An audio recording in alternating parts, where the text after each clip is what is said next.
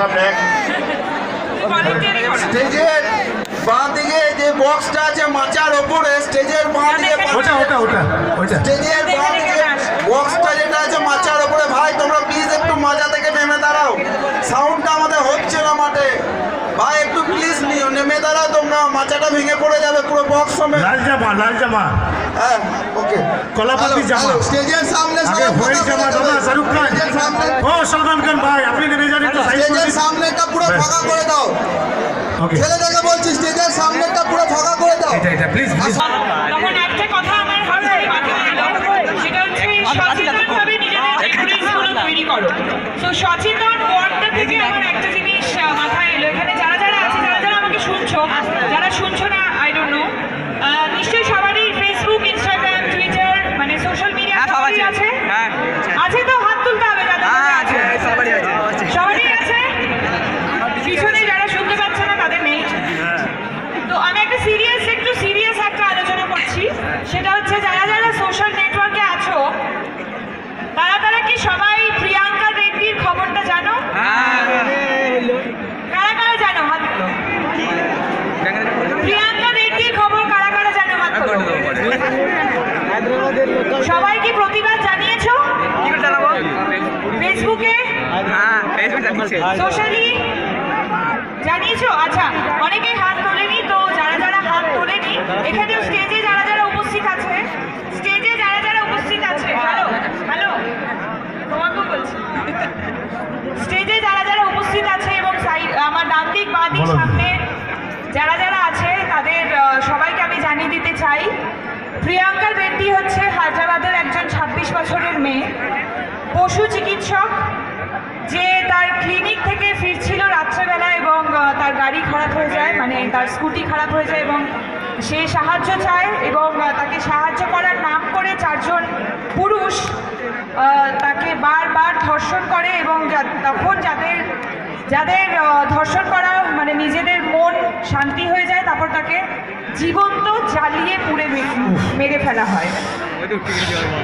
এবং প্রিয়াঙ্কা রেড্ডির মতো প্রচুর মেয়েরা এভরি ডে রেপ হচ্ছে এভরি ডে সেটা আমরা জানি দেখো আজকে আমি এখানে এসেছি। ডেফিনেটলি তোমরা এক্সপেক্ট করেছিলে আমি নাচবো গাইবো।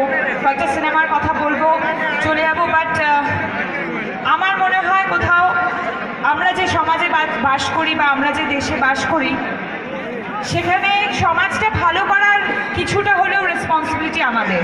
আর আজকে আমি তোমাদেরকে এই কথাটা বলছি এই কারণে বিকজ তোমরা সবাই ইয়াং ব্লাড ইয়াং জেনারেশন ওখানে মারামারি হচ্ছে বাট তোমরাই আই থিঙ্ক শুনছো সো ইয়াং জেনারেশন যারা ভারতবর্ষকে রিপ্রেজেন্ট করো এবং তোমরা হচ্ছে ভারতবর্ষের ফিউচার সো তাই জন্য তোমাদের কাছে এই কথাটা বলছি। কিছু সংখ্যক মানুষের জন্য পুরুষ জাতির বদনাম হচ্ছে। সবাই তো পুরুষ- সব পুরুষরা তো এক নয়। কিছু দুষ্কৃতি পুরুষ- পুরুষদের জন্য। কিছু কিছু সংখ্যক বাজে মানসিকতার মানুষগুলোর জন্য পুরুষ জাতের বদনাম হচ্ছে এবং পুরুষ জাতকে নিয়ে আমরা সারাক্ষণ বাজে কথাই বলি।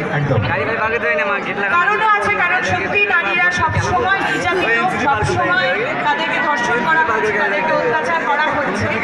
নানান জায়গায় নানাভাবে। কেন? তোমরা কি নিজেদেরকে প্রশ্ন করেছ? ছেলেদেরকে বলছি আমি। কখনো? কারা কারা নিজেদেরকে প্রশ্ন করেছ? তুমি জানো প্রিয়াঙ্কা রেড্ডির খবরটা তোমাকেই বলছি পিছনে যে তুমি তাকাচ্ছ তোমাকেই বলছি। প্রিয়াঙ্কা রেড্ডির খবরটা জানো? প্রশ্ন করেছ কেন হচ্ছে এটা? নিজেকে প্রশ্ন করেছ কোনোদিন? সবাইকে আমি একটাই রিকোয়েস্ট করব হয়তো তোমরা ভাবছ যে গাল খাবে। সে- সে হ্যাঁ, গাল। হবে ভেবেছিলে। বাট আই এম সরি আমি তোমাদেরকে বারবার বলছি একটাই কারণে এই কথাটা বলছি because you guys are young blood young তোমরা পড়াশোনা তোমরা শিক্ষা পাচ্ছ বাট এই শিক্ষাগুলো সত্যি স্কুল বা কলেজে দেওয়া হয় না যে একটা মানুষ আর একটা মানুষকে কীভাবে সম্মান করবে।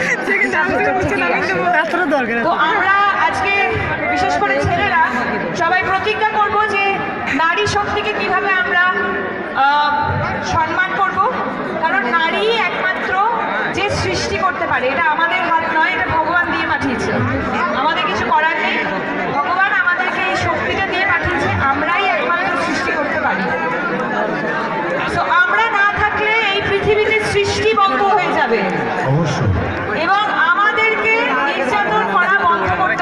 অবশ্যই।